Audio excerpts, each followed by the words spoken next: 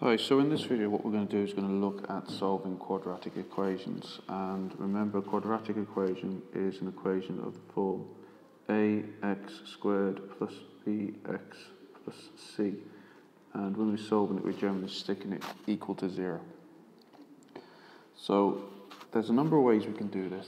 The first way we can do it is by finding factors and I'll just go with an example to show you what I mean by that.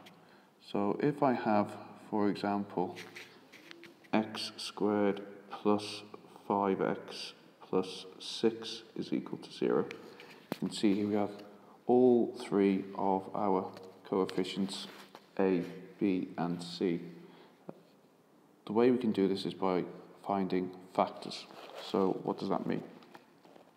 Well, what we do is we look at the plus 6 and we look at the plus 5 here. So the constant, what we're looking for is we're looking for two numbers that multiply to make that constant, but also add to make the number in front of the x.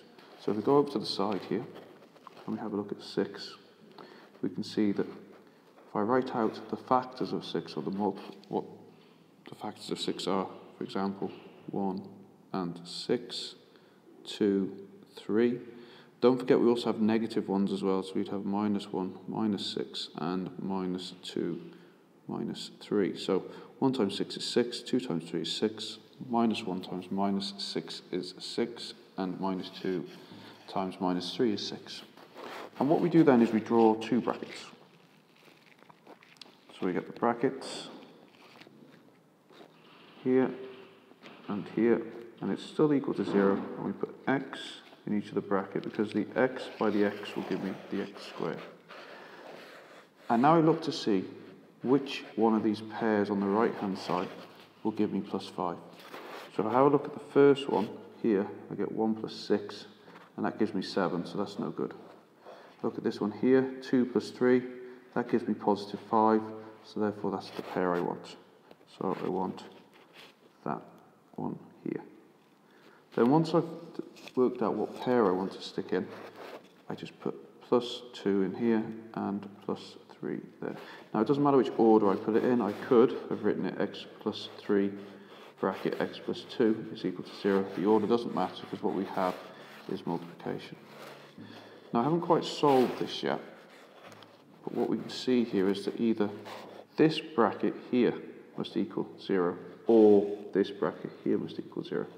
So what we do is we break it up into two bits. And I can say that either x plus 2 is equal to 0, or from here we have x plus 3 is equal to 0. Now we have a very simple equation to solve, and that means that x on this side is equal to minus 2, or on this side we have x is equal to negative 3. And we're finished. Now sometimes we don't have all three terms in our quadratic. So, for example, we might have had a missing c term, so we might have the form x squared minus 17 is equal to 0. So notice we don't have any x's here. It's still a quadratic equation because we still have this x squared term here. So what do we do here? Well, the quick way to sort this one out is to take the number across. So what we have then is x squared is equal to 17. So all I've done is I've taken that minus 17 across to the right hand side. Then in order to get rid of the square, so in order to get rid of this square here, we have to do the opposite. And the opposite is to take the square root of both sides. So if I take the square root of both sides, I get x is equal to the square root of 17, but don't forget when we take a square root we get plus or minus. We're expecting two answers for a quadratic. So whenever we do take a square root, we must remember that there are two answers, the positive and the negative. And you can write that as x is equal to minus root 17 or x is equal to positive root 17. Okay, so that's when we're missing the x term. What about if we're missing the constant? So for example, suppose I had 2x squared minus 5x is equal to 0. So here you can see we have no c constant. We just have the x squares and the x's. This is fairly straightforward. All we have to do is we just have to factorise it like we would normally, a simple factorisation problem. So here I look at both terms. So I've got 2x squared, I've got minus 5x, and I look to see what's common to both. And as you can see here, the only thing that is common to both is the x. So I take x out.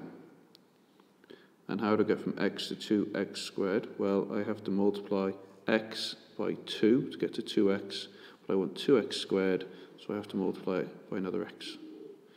Minus, in this case, and see we've got minus 5x, and what we do is we have to multiply x by minus 5 to get minus 5x and that's equal to 0. So just to show you again, to recap what's going on there. So x by 2x will give me the 2x squared here, and x by minus 5 will give me the minus 5x there. Once I've done that, I'm using exactly the same idea as before, that we basically have two brackets. It doesn't look like we have two brackets like we had over here, but we actually do. So there's two solutions I'm expecting. And one of the solutions is from here, and x is equal to 0. And the other solution is from here, which is 2x minus 5 is equal to 0. We don't have to do much with the one on the left. This one's already been solved. x is equal to 0. Fairly straightforward. And now we've got to look at the one on the right. So 2x minus 5 is equal to 0. 2x is equal to 5 and then x is equal to 5 divided by 2, or 2.5. Now those are the three ways, or the three different types of quadratic equation that you're going to get to solve. Hopefully this will make it easy for you to A, pick one it is, and B, then solve.